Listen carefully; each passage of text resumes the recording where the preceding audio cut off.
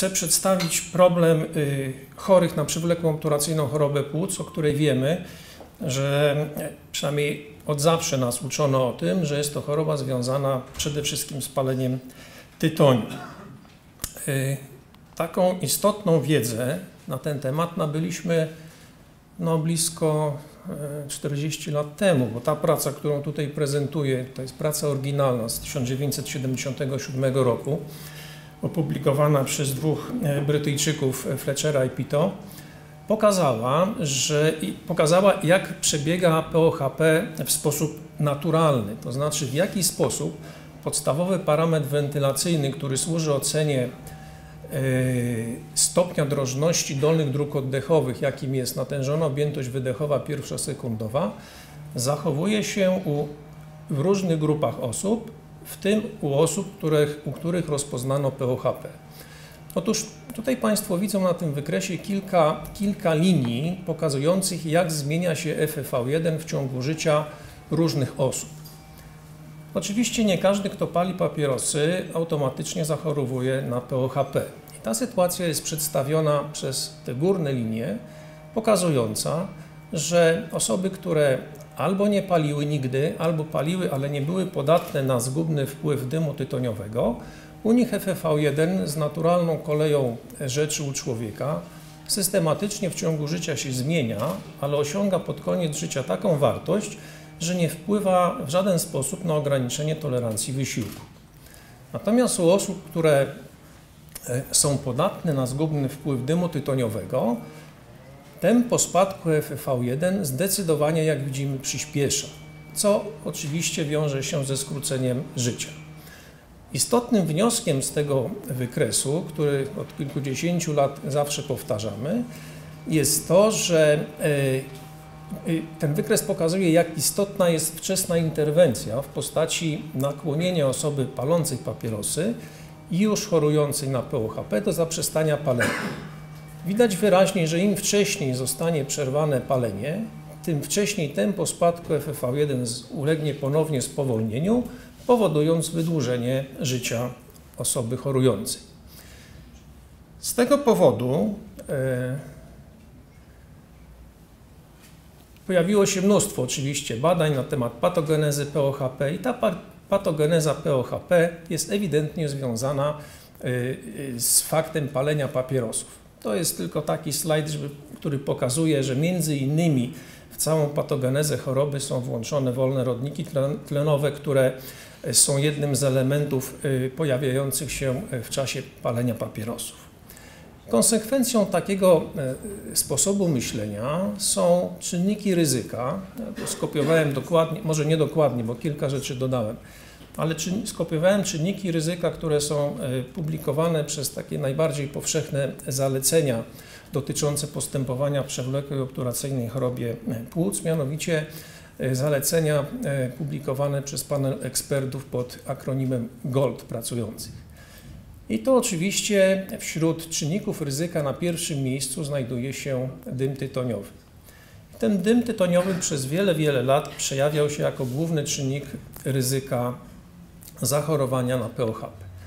Jednak z biegiem czasu, w miarę, w miarę postępu rozumienia choroby, e, widzimy, że zaczęły dochodzić e, całkiem inne czynniki ryzyka, które e, uważa się w tej chwili za jedne z możliwych, do, które przyczyniają się do rozwoju, do rozwoju POHP u osób podatnych podatnych, bo oczywiście trzeba mieć pewien nieznany nam do tej, aktualnie do tej pory e, zestaw genów, który predysponuje do e, pojawienia się POHP, do inicjacji stanu zapalnego pod wpływem drażnienia dolnych dróg oddechowych przez któryś z czynników drażniących. E, pan doktor Zielonka poprosił mnie, aby omówić, omówić problem chorych na POHP, którzy nie są narażeni na dym tytoniowy. To jest ciekawy problem, ponieważ on się od kilku lat, mniej więcej od 10 lat, zaczął poważnie, że tak powiem, wyłaniać z otchłani naszej niewiedzy. A to za sprawą tego, że pojawiły się, e, pojawili się, że tak powiem, na rynku nowi gracze. Ci nowi gracze to wielkie, potężne państwa typu Chiny i India, Indie, które zaczęły y, zdecydowanie poprawiać się w sferze ekonomicznej i zaczęły również y, różne czynniki epidemiologiczne obserwowane w tych państwach skupiać swoją uwagę na badaczach, w tym badaczach chorób układu oddechowego, a co, ta, a co za tym idzie i y, wśród badaczy, którzy fascynują się przewlekłą obturacyjną chorobą płuc. Czy znajomość czynników ryzyka jest ważna w ogóle, jeśli, jeśli mówimy o przewlekłej obturacyjnej chorobie płuc? Otóż kolejny slajd, który zaczerpnąłem z e, wytycznych e, ekspertów e, GOLD, mówi, że jest to szalenie ważna informacja, ponieważ rozpoznanie POHP opiera się na ustaleniu pewnych kardynalnych objawów choroby, ale jak wszyscy wiemy, nie są to absolutnie specyficzne dla tej choroby objawy, oraz ustaleniu czynników narażenia. Oczywiście tradycyjnie na pierwszym miejscu jest narażenie na dym tytoniowy, ale proszę zwrócić uwagę, że już na drugim miejscu znalazły się czynniki, na które mogą, możemy być narażeni e, z przyczyn zawodowych i wreszcie zanieczyszczenie powietrza zarówno w mieszkaniu, jak i na zewnątrz. I dopiero kombinacja tych dwóch elementów pozwala na myślenie w kierunku POHP, a POHP, jak wiemy, rozpoznajemy dopiero wtedy, jeżeli ustalimy, że e, obserwujemy utrwaloną obturację dolnych dróg oddechowych u osoby badanej. I teraz chciałbym, może jeszcze raz wrócę do tego. Oczywiście o paleniu tytoniu nie będę mówił, ale przejdę do e, zagadnień związanych z narażeniem zawodowym. A więc ekspozycja zawodowa. W różnych badaniach populacyjnych szacuje się, że odsetek osób chorujących na POHP z powodu ekspozycji zawodowej waha się od 9 do 31%, a więc ten rozrzut jest dość szeroki. Problem w tym, że określenie jednak faktycznego ryzyka rozwoju POHP e, z powodu ekspozycji na różne czynniki zawodowe nie jest w tej chwili pewne, a szczególnie dotyczy to krajów rozwijających się, a w tym tych krajów o największej populacji, takich jak właśnie e, Chiny, Indie, czy, czy po drugiej, na drugiej półkuli na przykład Meksyk czy Brazylia. E, myślę, że pewną dobrą wartością jest wartość, która została podana przez e, badaczy Amerykańskiego Towarzystwa Chorób Płuc, Wprawdzie stare są to dane z 2003 roku, ale mówią, że e, e, populacja chorych na POHP, która rozwija się z powodu narażenia na czynniki zawodowe, e, sięga około 15%. Jakie to są czynniki? No zapewne wszyscy z Państwa zgadują od razu albo wiedzą. Czynniki związane z pracą w przemyśle. Oczywiście wszelkiego rodzaju kopalnie, w tym kopalnie węgla kamiennego czy brunatnego, praca w kamieniołomach, cementownie, budownictwo, ale również kopalnie złota. Natomiast y, w tych, w tych warunkach, jeżeli ktoś pracuje, to e, ma szansę być narażony na wdychanie, na wdychanie powietrza, w którym pył zawieszony osiąga aż takie stężenie. Więc to jest to wielokrotnie wyższe od tych norm, o których pan profesor e, Krzyżanowski wspominał i o których mówi zresztą e, wytyczne WHO. Również udział przy produkcji plastyków, tekstyliów, gumy, skóry, przy produkcji żywności, kierowcy, zwłaszcza kierowcy dużych y, ciężarówek, którzy przemierzają, przemierzają y, drogi, y, serwisanci samochodów, którzy są narażeni na przykład na wdychanie spalin silników diesla. To są wszystko zawody, które sprzyjają rozwojowi POHP z powodu narażenia na, na czynniki zawodowe.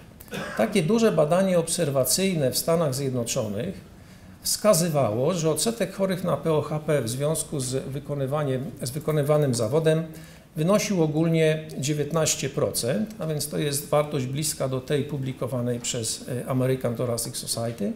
Natomiast wśród osób niepalących ten odsetek POHP, które związane jest z narażeniem zawodowym, szacowano na e, około 1 trzecią.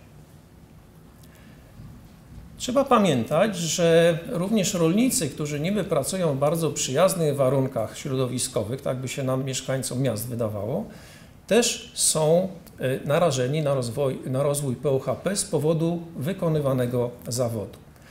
Y, y, Są szacunki, że wśród rolników powyżej 40 roku życia aż 7,7% z nich, około 8% choruje tylko i wyłącznie dlatego na POHP, że właśnie pracuje w miejscu, w którym pracuje. Co ciekawe, hodowcy zwierząt mają o 40% większe ryzyko rozwoju POHP niż producenci zbóż. Dlaczego?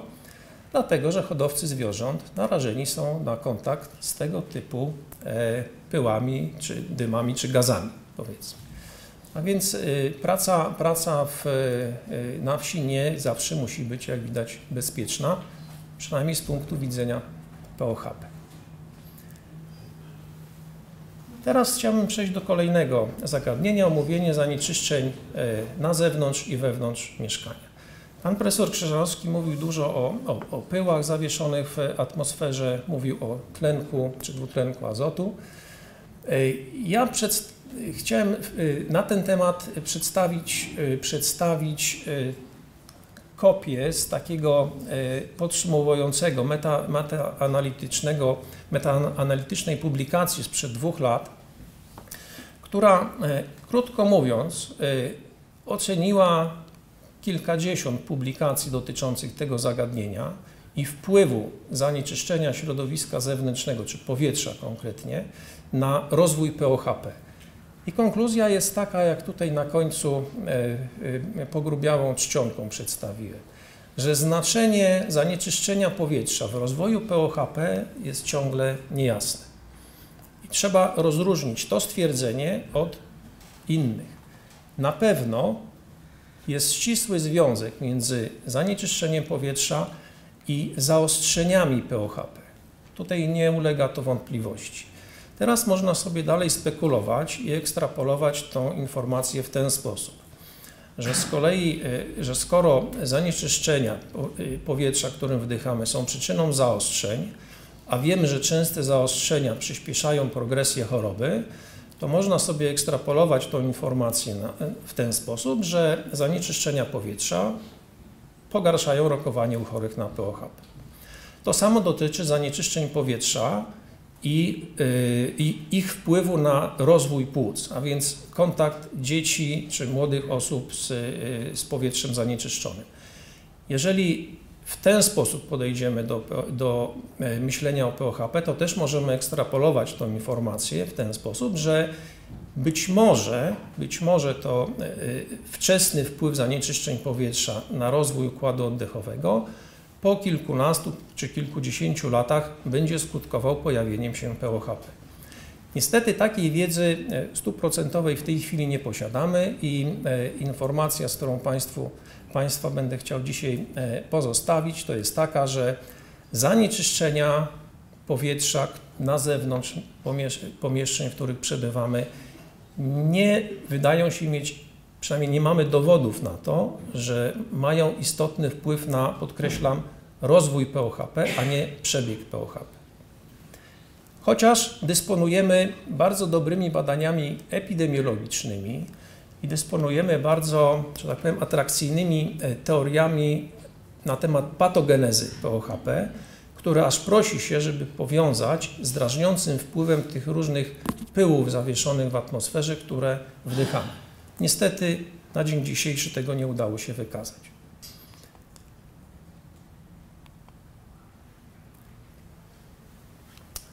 Inaczej ma się sytuacja, jeśli chodzi o powietrze, którym oddychamy w pomieszczeniach zamkniętych. I to jest dość gorący temat w tej chwili, który chciałbym troszkę szerzej omówić. Więc trzeba sobie po pierwsze zdać sprawę, właśnie, to nawiązałem o tym zainteresowaniu tak zwanym trzecim światem, który pomału przestaje być trzecim światem.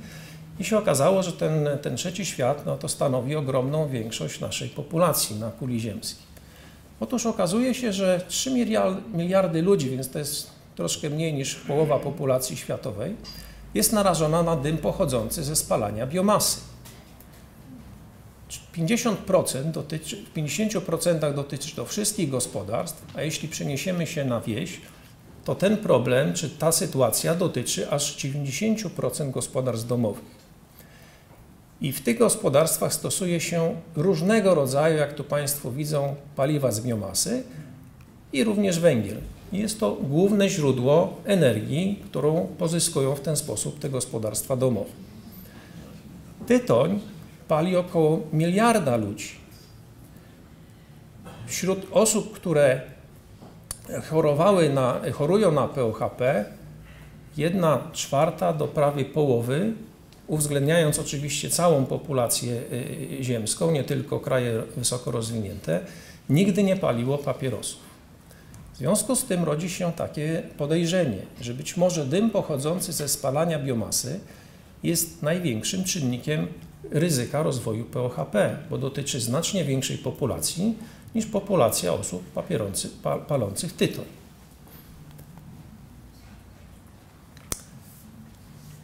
Co znajdujemy w dymie, który, który emitowany jest e, przy spalaniu biomasy?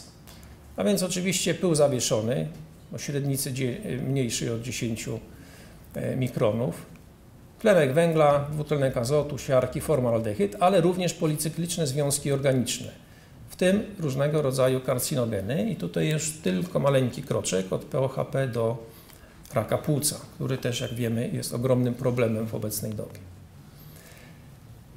Warto sobie zdać sprawę, że e, spalanie e, biomasy e, w czasie gotowania może sprawić, że koncentracja pyłu zawieszonego w powietrzu osiąga takie no, niewyobrażalne stężenia. To są, to są dane, dane, które były oczywiście odpowiednio badane. Normy, jakie są Mamy tutaj podane. Tak wygląda rozkład mapy, y, y, mapa rozkładu y, wykorzystywania tych źródeł energii wykorzystujących spalanie biomasy. I to, o czym już tu kilkukrotnie mówiłem, dominują oczywiście kraje azjatyckie, a więc Chiny, Indie i cała Afryka. Więc tutaj możemy spodziewać się istnej eksplozji rozpoznań POHP, jeżeli ktokolwiek zacznie tych ludzi faktycznie badać. Chcę zwrócić Państwa uwagę na ten kraj. Ten kraj wydaje się w miarę bezpieczny, podobnie jak Polska, ale czy na pewno? Otóż wykonano badanie w takim nie najbiedniejszym stanie Stanów Zjednoczonych, w Nowym Meksyku, gdzie e, ludzie zaczęli wykorzystywać do e, opalania drewno. I opalanie drewnem spowodowało 70% zwiększenie ryzyka występowania POHP, zarówno u mężczyzn, jak i u kobiet. Więc niekoniecznie trzeba mieszkać w Indiach czy Chinach, można mieszkać w bardzo dobrych warunkach, tylko mieć złe źródło e, energii, żeby być narażonym w istotny sposób na rozwój POHP. Tutaj postawiłem sobie takie pytanie i udało mi się znaleźć na nie odpowiedź. Jak długo trzeba gotować na kuchni węglowej? Napisałem węglowej, bo w polskich warunkach głównie węglem opalamy, aby zachorować na POHP. Jest takie badanie opublikowane przez e, zespół e, no, pracujących w Bostonie, ale, ale, ale y, y, y, pracowników meksykańskich, naukowców meksykańskich, którzy stwierdzili, że, że do zachorowania na POHP potrzebne jest gotowanie przy kuchni. Oni badali gospodarstwa domowe, które opalały kuchnię drewnem w Meksyku, w mieście Meksyk i wyliczyli, że trzeba spędzić 200 godzin w ciągu roku, aby 75-krotnie zwiększyć ryzyko zachorowania na obturacyjną chorobę płuc.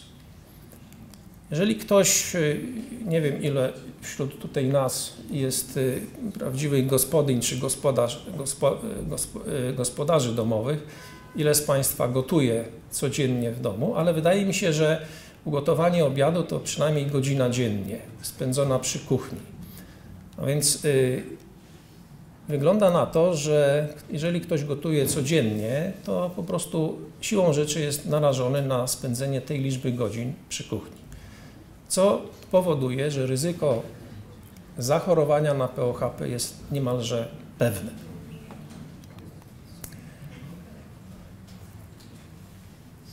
Kolejne pytania, jakie sobie zadałem, to jaki wpływ, czy może to, że gotujemy, czy że nabywamy POHP z powodu kontaktu z dymem pochodzącym na przykład z drewna czy, czy z węgla, może nie ma takiego istotnego znaczenia, jeśli chodzi o rokowanie, w porównaniu z kontaktem z dymem tytoniowym. I tu znowu ta sama grupa badaczy e, dała mi e, e, powody do znalezienia odpowiedzi na takie pytanie. Otóż oni znowuż w Meksyku, w mieście Meksyk, zbadali grupę prawie 500 chorych, niekoniecznie chorych, 500 osób, wśród których jedni byli narażeni na dym tytoniowy, a drudzy byli narażeni na dym pochodzący ze spalania drewna w kuchniach, w których przygotowywali codziennie posiłki.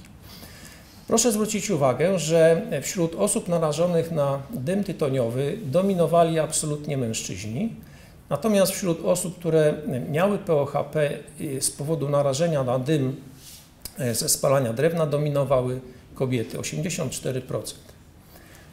E, proszę zwrócić uwagę, że tak zwane paczkolata u chorych, u osób palących to jest 50 kilka, więc też już dość uczciwy wynik. I te panie, które były, czy zdecydowana większość pań w tym gronie, które były oceniane, spędziły ponad te progowe 200 godzin w ciągu roku gotując cokolwiek przy kuchni. Może ważną, czy nie tyle ważną, co też interesującą obserwacją jest to, że te osoby, które były narażone na dym tytoniowy, miały nieco bardziej nasiloną obturację, wyrażoną wartością FV1 46% wartości należnej, w porównaniu z tymi, którzy byli narażeni na dym pochodzący ze spalania drewna. Tutaj poziom FV1 był troszkę wyższy. I teraz najważniejsza informacja. Jak jaki wpływ jedno i drugie narażenie miało na rokowanie u tych osób. Otóż takie surowe dane, jeżeli zestawiono i oceniano przeżycie, to okazuje się, że mężczyźni, którzy palili papierosy, no dużo szybciej umierali niż kobiety, które paliły papierosy, ale z kolei kobiety, które paliły papierosy, umierały w tym samym tempie, co kobiety, które miały POHP tylko i wyłącznie dlatego, że gotowały gotowały posiłki na kuchni opalanej drewnem. Jeżeli te dane zostały następnie skorygowane o takie czynniki, tutaj one są wymienione jak FFV1, saturacja, wskaźnik masy ciała i wiek, to się okazuje, że nie ma żadnej różnicy w przeżyciu, w rokowaniu, nawet między mężczyznami palącymi papierosy, a tymi, powiedziałbym, biednymi kobietami, które nieświadome gotując posiłki y, na kuchniach węglowych czy opalanych drewnem, zapadają na POHP. A więc problem wydaje się bardzo istotny, zwłaszcza czy dotyczy bardzo szerokiej y, populacji y, osób chorych, które, które mieszkają w krajach rozwijających się. I teraz na koniec y, kilka takich y, przykładów y, statystycznych na temat rozpowszechnienia już generalnie POHP wśród osób, które nigdy nie paliły tytoniu.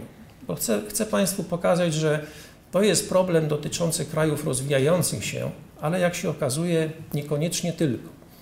Bo na przykład weźmy, to, są, to jest występowanie, częstość występowania POHP w tej kolumnie, a tu jest częstość występowania POHP u osób, które nigdy nie paliły papierosów. I znowu e, e, badanie amerykańskie, w którym e, częstość występowania POHP oszacowana na około 7%, natomiast ci, którzy nie palili, proszę zobaczyć, to jest 1 czwarta.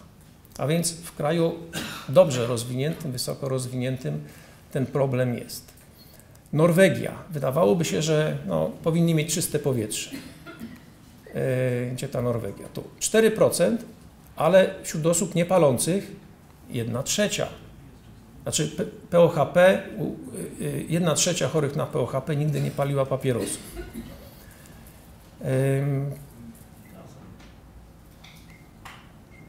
Europa.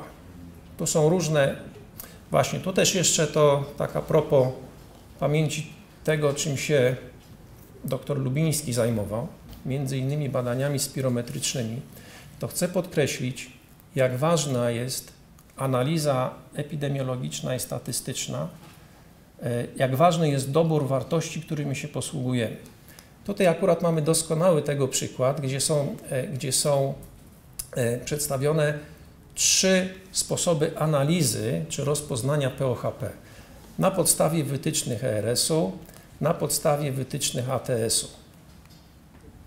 I proszę zwrócić uwagę, że w zależności od tego, jakie wartości należne sobie za, zaaprobujemy do analizy naszego materiału, tak zarówno częstość występowania POHP, jak i częstość występowania POHP wśród osób nigdy nie palących się będzie różniła.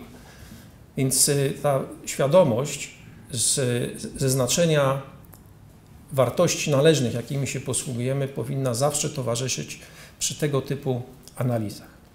Ja może zwrócę tylko uwagę na tą, ten maleńki wierszyk z takim akronimem BOLT. Dlaczego? Dlatego, że w tym badaniu brał udział jeden z ośrodków polskich, krakowski, pani profesor Niżankowska i tam okazało się, że e, podobnie jak w wielu innych badaniach, że odsetek chorych na POHP, który nigdy nie palił papierosy jest dość wysoki, dotyczy jednej trzeciej prawie chorych, ale co istotne, e, nie wiem czy ja to, czy to tu znajdę, ale w każdym razie wśród tych chorych, którzy nigdy nie palili, dwie trzecie to były kobiety. Więc problem dotyczy również Polski, ta tendencja, o której mówię.